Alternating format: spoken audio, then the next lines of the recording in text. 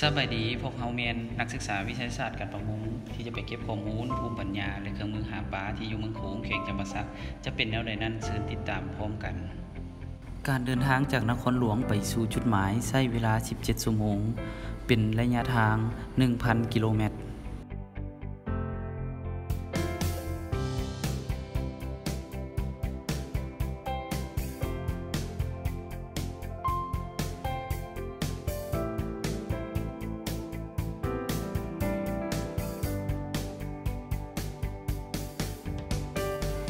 โดนโคนนอกจากจะเป็นแหล่งที่อยู่อาศัยของประชาชนแล้วยังเป็นแหล่งท่องเที่ยวทางประวัติศาสตร์ และฮีดคองประเพณีที่สวยงาม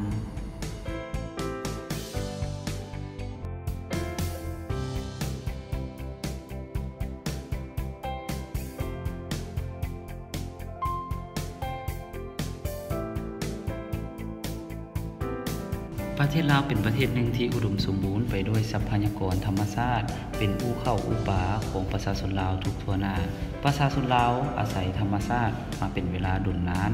ในการดำรงชีวิต ดังคำที่ว่าประเทศลาวอุดมสมบูรณ์ไปด้วยทรัพย์ในดินสินในน้ำการหาปลาเป็นอีกวิธีหนึ่งที่สืบทอดกันมาตั้งแต่บูหานาการ จากรุ่นสู่รุ่นโดยมีอุปกรณ์หลากหลายชนิด จิบและรอบเป็นเครื่องมือหาปลาชนิดหนึ่งที่ประชาชนใช้ในการหาเพื่อเลี้ยงชีพ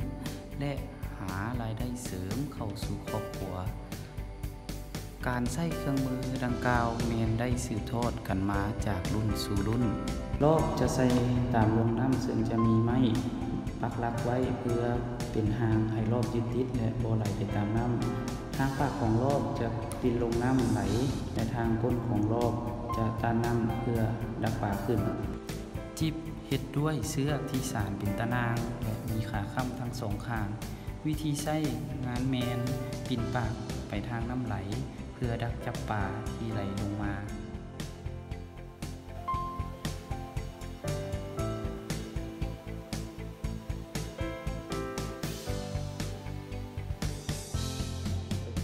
กามกันมาหากินเป็นดึกดำบันเลยข้าวปล่อยแม่นะเป็นหาก็ปลาฐานได้นี่วิอ่าธีมันแบก็หาไตรอเนาะเออไตรอเอาเนี้ยบ่ว่าปลาหน่อยปลาใหญ่ปลาจำได้ก็ไดวัดที่กันนั่นแหละไตรอนะรอบเส้นไตรอแล้วก็มีลีแล้วก็มีซั่ว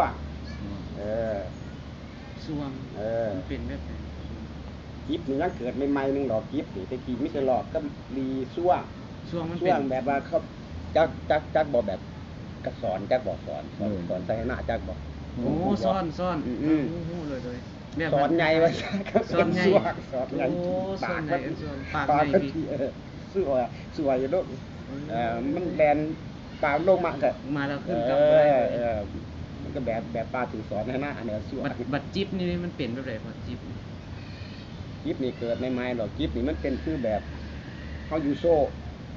อยู่โซ่อยู่สอนผูกบ่หนอ เออมันแลนโลกนี่มันแลนโลกมันก็เขาเขาเขาโลกวันนี้ถ้าอยู่โซ่อยู่หยังครับตรงนี้เนี่ยถึงจังไดเนาะเอออันนี้เขาก็ใส่กระโหลกกระพุ่งมันยาวเนี่ยก็ใส่กระพุ่งอยู่อันบนโลกโลกมันก่อนจากกันไปทีมงานของพวกเขาก็ขอฝากถึงสถานที่ท่องเที่ยว ที่สวยสุดงดงามพร้อมทั้งห้องหอยประวัติศาสตร์ และวิถีชีวิตภูมิปัญญาชาวบ้านแบบดั้งเดิมให้เห็นจนถึงปัจจุบัน สุดท้ายนี้ก็ต้องขอขอบใจทางคณะเกษตรศาสตร์และครูอาจารย์ที่ให้โอกาสในการลงพักปฏิบัติในครั้งนี้ ต้องขอขอบใจอีกครั้งหนึ่งสำหรับชาวบ้านที่ให้ความร่วมมือกับทีมงานของพวกเรา ขอขอบใจ